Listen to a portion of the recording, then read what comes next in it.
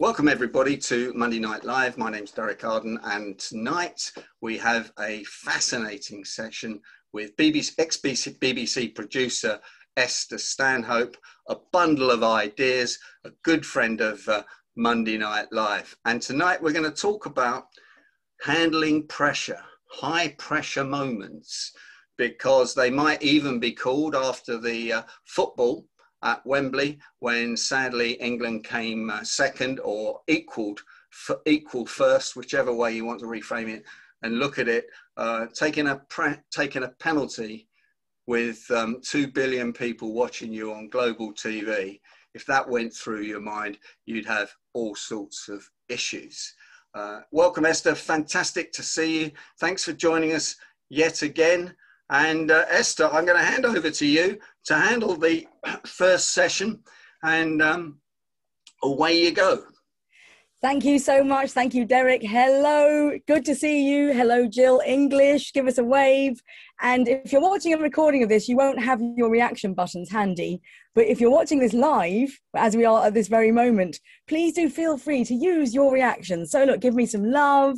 Let's just practice a little bit now. If you're watching the recording, this will you won't be able to see all the hands up and the love hearts coming up. But we're gonna we're gonna gonna be using this raise your hands function tonight as well because we are going to have this is like a chat show tonight, isn't it, Derek? We're kind of going to do a behind the scenes virtual water cooler moment show. And it's going to be in, it's a game of two halves, and there's going to be an interval. We're going to have part one, and then we're going to have part two after we've had a bit of slice of orange.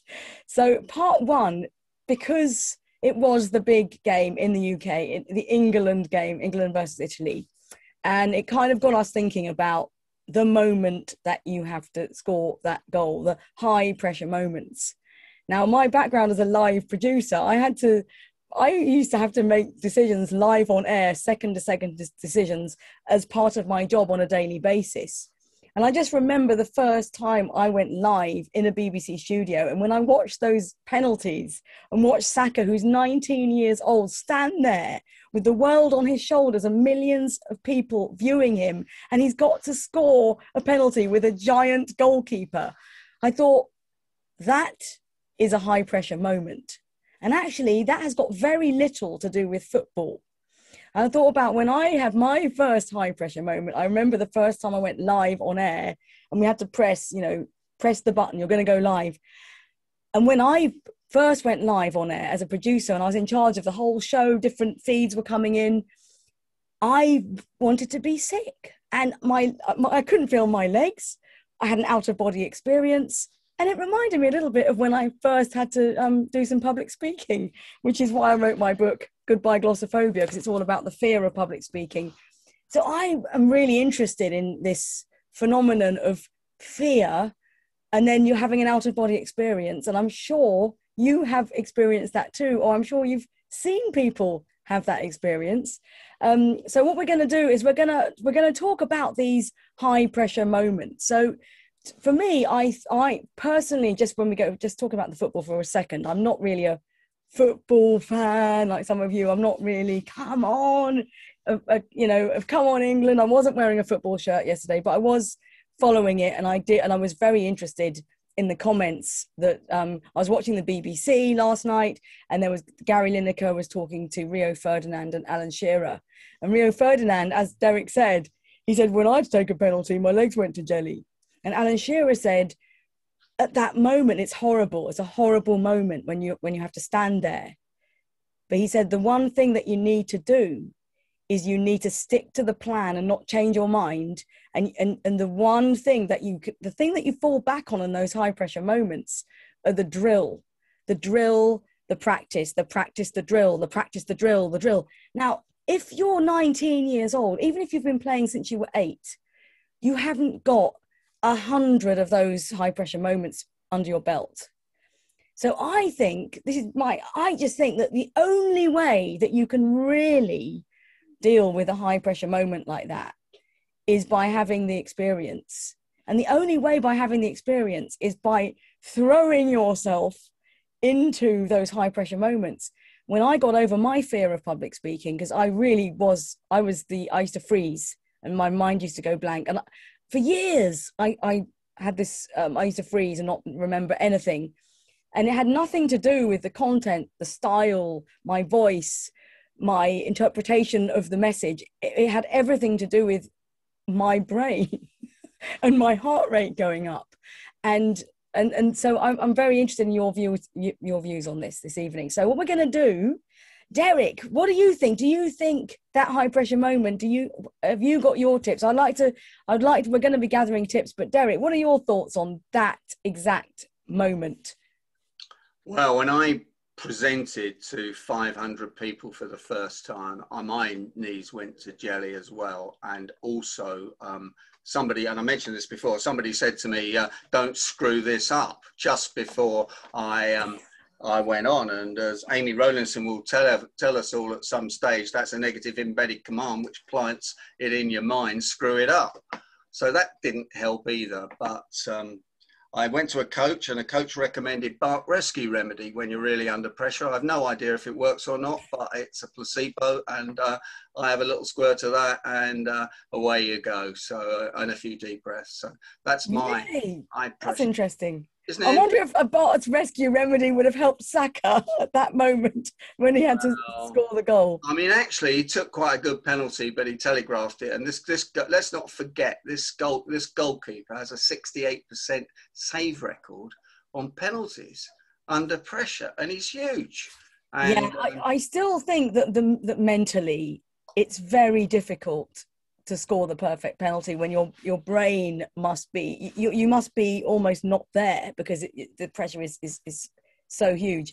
So what we'd really like to do is is we're going to go into little breakout rooms uh, and then we'd like to share your stories of your high pressure moments but mainly your tips. We'd like to know what are your rescue remedies for these high pressure moments whether you're talking about Saka or yourself. We've all had that moment of this is make or break.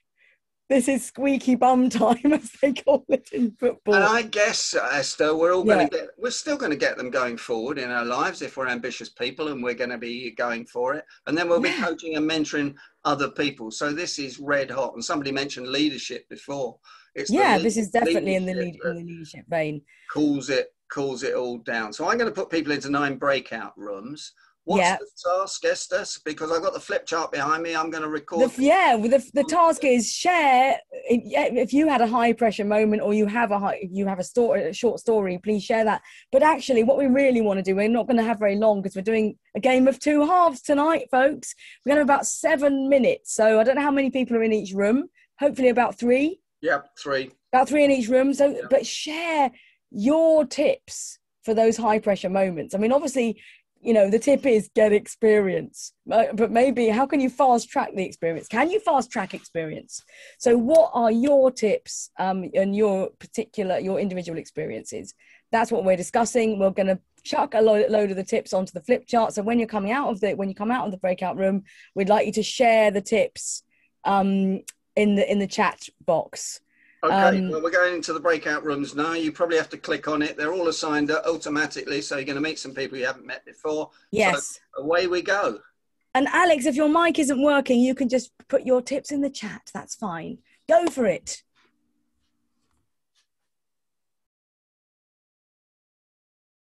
And we can take it off gallery view when we want to see the flip chart. Okay, welcome back. welcome back from the breakout room if you're watching the recording of this, you can press you can press pause while you think about your high pressure moments. But we just had quite a lot of time to think about it. So let's let's start sharing some of your tips in the chat. But also, I would much rather you raise your hand and then you can share your tip live with your lovely voice.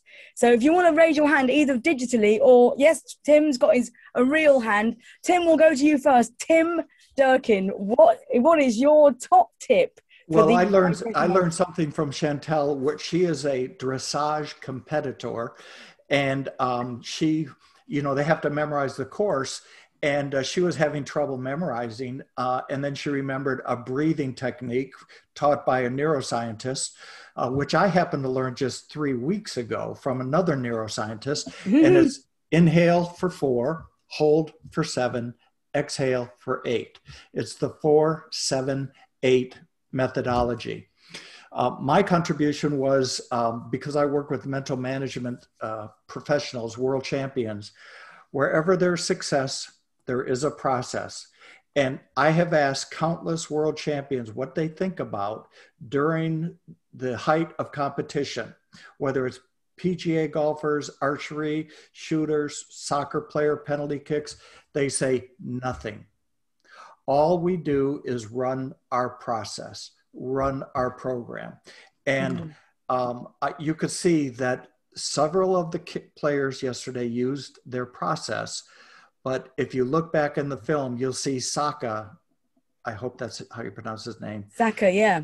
Did not. Uh, he was thinking something other than program or process. And I think apparent. I think Rashford was as well. Um, yeah. They pointed out that he wasn't really looking at the ball. One of them kind of lost his concentration. But you're absolutely right. So but, yeah, uh, think absolutely. of nothing. Run your process. Yeah, excellent. And my word for that would be drill, which is basically the same drill. It's got to be drilled into you. Yeah. Um, Paul, let's have let's have your tip. Okay, I I um I started with my my uh, childhood when I was probably I think about eight or nine. I remember um, passing out um, by fainting in the school uh, assembly, right, and that that was an unpleasant experience, obviously, and didn't know what was happening. And it was, uh, uh, well, it's lived with me forever since then. Then I got a job, you know, move on, you know, lots of years, and I had a job where I knew I was going to have to do a lot of presentations in public. And the big fear was that I would faint. Now, as it happened, in, uh, there was a period in my life when somebody, uh, I, I was with a counselor who went through emotional freedom technique, the EFT and it wasn't for this; it was for another version, but I for another issue. But I, I remember saying that you know I was I'd been asked to present at a at a, a conference, and that was my fear. And he said, "Well, give me let's do ten minutes of what they call tapping, oh, emotional yes. freedom technique." Yes, uh, and and unbelievable that that fear of passing out doing a speech is gone. I mean, I'm, I'll say I'm always, you know, nervous, etc., etc. We all we all know that, um, but that fear of just sort of collapsing out of the world is is gone. So it's well, EFT. Like, you know what? So I, I've got a, I've got many friends that are neuroscientists and holistic therapists and psychologists. One of my friends is a therapist. She um, specializes in this tapping technique as well. So the idea is that you tap certain parts of your of your body, you, your fingers. Right. Yeah. So we, if yeah. you get if you get just the bit next to your nail there, you can all do it now. Let's all have a go tapping, or you can tap each finger. It's the little fat bit next to your nail, and if you tap that, that that that actually affects your central nervous system.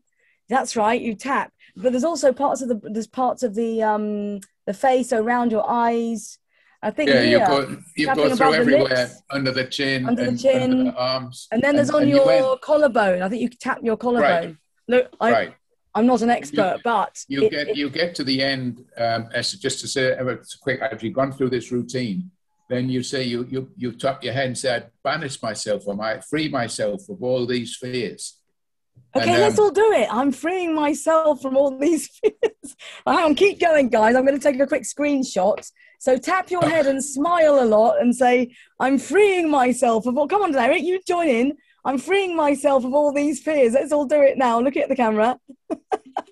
yes, we've got, look at that. Nearly 30 people freeing ourselves. My friend Olivia is going to be so happy that I actually passed, passed this on. Thank you, Paul. That's great. So we've got William and Amy. We've got two quick tips from William and Amy, and then we're going to go on to part two. Derek, is that okay? Another two tips from William and, Amy. That's fine. And guys, put your tips in the chat box if we don't have chance to get to you. Let's... Yeah, put them in the chat box now, so because we are going to be publishing the chat as well. After we're gonna we're gonna put the all the tips together. So even if you've shared your tip, like the process, um, Tim, if you want to just put a couple of sentences down about process or process, um, please do. So William, your tip quickly. William. Uh, yeah, very, very quickly yeah. builds on what Tim was saying. That is, you know, if you're at the top of a black run that you didn't know you couldn't get down, um, just remember that you've done all the training. You know what you're doing. Just use the process, as Tim would say. But I think what it highlighted to me is that we often are in situations where we know exactly what to do. We've practiced the skill, but the situation is different. And when the situation is different, the skill's still the same. Just apply it. Yeah. So same skill, different situation. Same skill. I know another version of that, but it's a bit rude.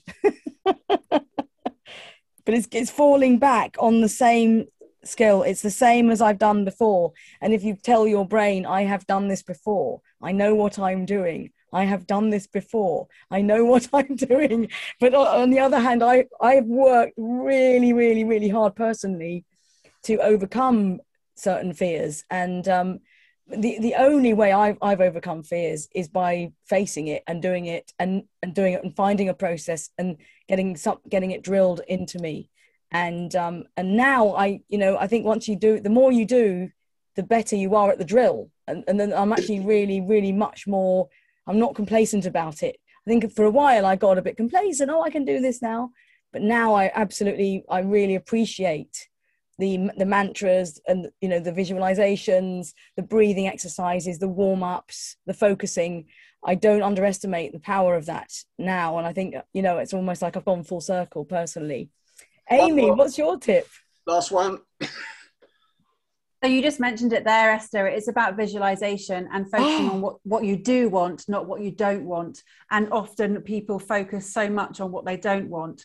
And yes. I was guilty of this in when I used to do a lot of competitive rowing, focusing on not catching a crab and getting a clean start. So all I did is I just changed my mantra of what I didn't want to focus on with what I did and really focusing on what was important and essentially focusing on why. Why was I trying to what was it going to achieve in that particular race? And that was what made me a national champion rower. That's amazing. I love that. When you say catching a crab, is that when the when the oar goes a bit flat? It's when it, it goes, goes right deep and it can it can actually knock you right round. So yeah, wow. it's, not, good and it's not what you want. Yes, I mean if you say you know oh no I don't want to catch a crab, then you go and catch a crab. You know you don't get that out of your brain. Get the get the what the the, the, the negative stuff out. So Graham, we've got some great tips there. We've got breathing, we've got tapping, we've got the process, the drill, the practice, and then Amy's absolutely golden tip visualizing the positive messages visualizing the why the, the purpose. What do you want? What do you actually want to focus on? Um, derek what do you, what do you make of that? I thought it was fantastic and there's also some fantastic fantastic points in the chat which i'm uh, just uh, sharing. Godfrey says big pressure moments can come ex- unexpectedly when you don't have time to prepare. You just have to believe in yourself and positive mental attitude on the whole thing. Um, Esther, that's fantastic. We're out of time. Um, thank you for that. I'm going to stop the recording and then restart it in part two. Thanks everybody for your tips. We'll have time on another show to go through some of those tips because, to be honest, uh, I'm sure we've come, come up with another 10 or 20 tips. So thanks everybody for joining uh, Monday Night Live. And if you're watching this on YouTube or listening to it on the Negotiations podcast, please send me an email or join us live on a Monday night. Uh, thank you very much. Thank you. It's a wrap.